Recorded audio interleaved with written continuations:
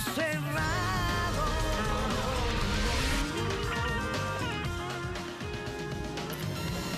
Tatiana demanda a su esposo Tony, con quien tiene cinco años de matrimonio y son dueños de una casa propia, y exige que éste desaloje a la inquilina que tienen viviendo presentemente ahí.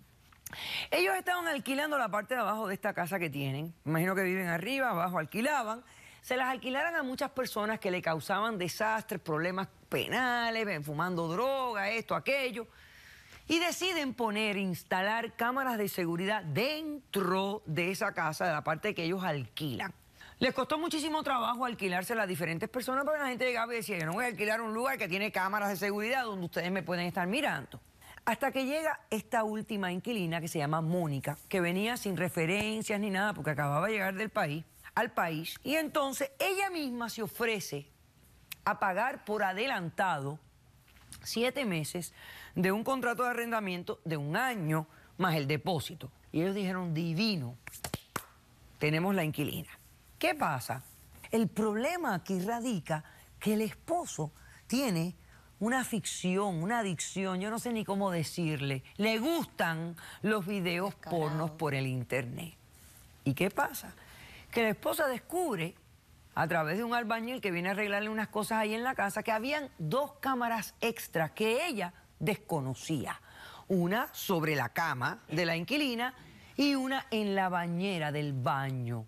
Y un día se encuentra el esposo que tiene esta adicción de los videos porno con imágenes de la inquilina haciendo sus cochinadas, como ustedes se pueden imaginar.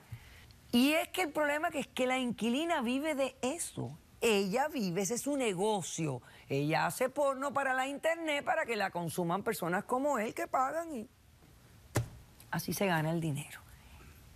Esta, esta afición que tú tienes con estos videos porno. Eso es normal. Pero, eso es- pero eso- te roban las ganas de estar con tu mujer.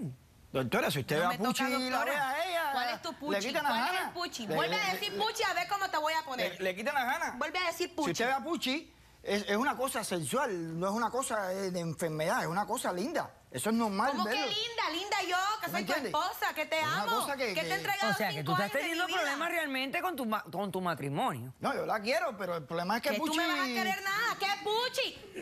Te dije que no dijeras más puchi. Ok. Pasemos al testigo del demandado, por favor. Ponte para allá. Vuelve a decir puchi. Ve cómo te pongo la bocota, descarado. A mí me parece que Puchi entró por ahora mismo como testigo. La famosa puchi, doctora. Ok. Bueno, ¿qué has venido a declarar? Eh, doctora, lo que pasa es que yo tomé un contrato eh, de arrendamiento de un cuarto de la parte baja de la casa. Eh, la señora alega eh, que debido a mi trabajo le he provocado sus problemas matrimoniales con su esposo. Tú sabías que él tenía acceso a, a las cámaras que yo instalé en la sala. Pero usted Y misma... aún así tú te pasabas ahí en cuero. Esa es su casa. Esa es su No. privacidad, si no se su mete con nadie. casa. Uno tiene derecho, cuando uno Ella tiene alquila que un respetar mi lugar, matrimonio. de hacer en ese espacio lo que uno quiere. Doctora, cuando estaban nosotros inquilinos cuando estaban nosotros inquilinos, era. Realmente yo acepté las condiciones que ella me puso, que eran un contrato muy riguroso, como era que no podía llevar eh, amigos, que porque ella ha tenido muchos inconvenientes. ¿Ese es el contrato de arrendamiento? Ven, acércame. Gracias. ¿Y entonces qué pasó? Entonces, eh, yo, he, yo he cumplido mensualmente con la renta, yo no los molesto a ellos para nada. Y yo le traté de explicar a ella que mi trabajo consistía en eh, um, que me filmaran Ella a mí no me dijo. Ella a mí no 24 me días dijo en mi cuarto, que es el que yo pago. El, el señor Tony tenía Pero conocimiento. ¿cómo ella va a convertir mi casa en un estudio porno, doctora, yo teniendo ahí mi marido? Es imposible. Pues está en su Pero privacidad, no puede no ser, Tú no puedes entender- Mira, no puede es que, ser. tú, es que tú no estás viendo aquí la realidad como es, porque aquí, no importa quién tú, tú puedes meter a una monjita y a un cura ahí a alquilárselo. Tu marido va a seguir mirando porno. Aquí el problema no es la inquilina, aquí el problema es tu marido. Pero ella estaba consciente de que yo miraba pornografía cuando nos conocimos y la miraba mijo, conmigo. pero, Pero no cuando la pornografía, como tú cuando, el cuando tu Tú ahora a mí no me pornografía, tocas, cuando tú tu ahora no me dices vicio nada. Previene que tú cumplas con tus obligaciones matrimoniales, tú tienes un problema. Eh, Doctora, eh, Puchi... Tú, tú ¿Cuál le es estás el puchi? ¿Qué fue lo que te dije, descarado? Que no dijeras más. Pervertido. Tú conociste, tú la conociste a ella antes de rentarle el departamento, claro, porque tú lo Obviamente es la acá. entrevistamos mi marido y y tú nunca pensaste que tu marido iba a a volársele la tapita No, de los sesos. nunca me he metido con ella afuera ni nada, ni la he mirado afuera. No, tú nada más la miras por la internet. No, pues, Y tú- tú te dedicas a esto hace tiempo Sí, señora. y ganas buen dinero, me imagino, ¿no? Sí, debido a los ingresos a la página, asimismo es el dinero que yo recibo mensual. Igual el señor nunca se ha, se ha yo metido me conmigo para nada. me. Y yo realmente no estoy interesada en el problema es que ellas tengan... Yo no tengo inconveniente en, en desalojarle la casa. Solo pido que me devuelvan el depósito de 7 mil dólares que les hice. Es que O no el balance, bueno, claro, el dinero. balance de los... Porque llevas tres meses viviendo ahí. Llevas tres meses. Que te den el balance Yo no de lo que no has vivido. Ni quiero tampoco que se vaya. Bueno. Mm. Ok, y, y- y tú no tienes ninguna cirugía plástica. Eso es todo natural tuyo, ¿verdad? Todito, todito te lo dio papá Dios. Vamos a invitar a la doctora Vivian González a que pase a la sala, por favor.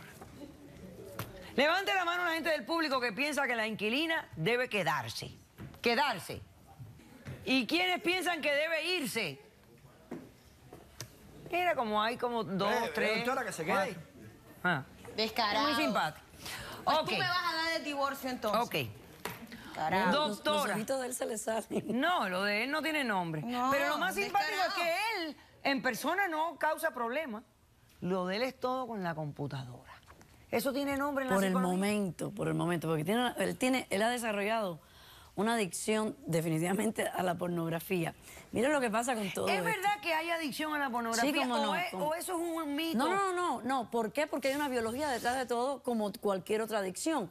Eh, la, la repetición a la pornografía, lo que puede ser inicialmente como para eh, darle un poquito más de, de ánimo a la relación sexual de pareja, si es repetido, eh, comienza entonces a afectar áreas dopaminéricas del cerebro, que son los centros del control del placer y del, y del reward en el cerebro. Y lo que pasa es que altera la bioquímica.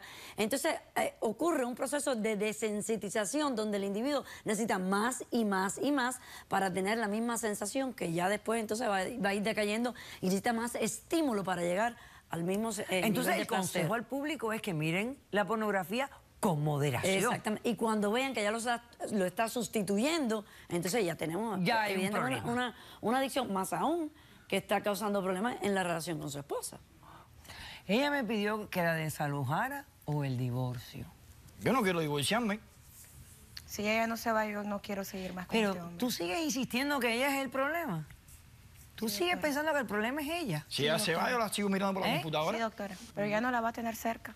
¿Y? Eso es lo único que yo no quiero. ¿Para qué yo la quiero ¿Y cerca? por, y por qué te molesta que la tenga cerca? No lo tolero, doctora. ¿Eh? No lo tolero. Porque ella Quiero que ella se vaya, quiero que esté lejos de mí y de mi esposo. Si vaya ni la miro, doctora. Decisión del caso. Te concedo la demanda, búscale los 7 mil dólares a la muchacha y le doy 30 días para que entonces desaloje. He dicho, caso cerrado. Hacemos un corto receso y regresamos con más de caso cerrado.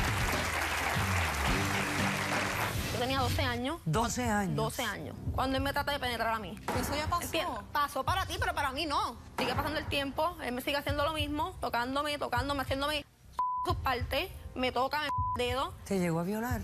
Yo vengo aquí a pedirle perdón a ella. Perdón. Caso cerrado.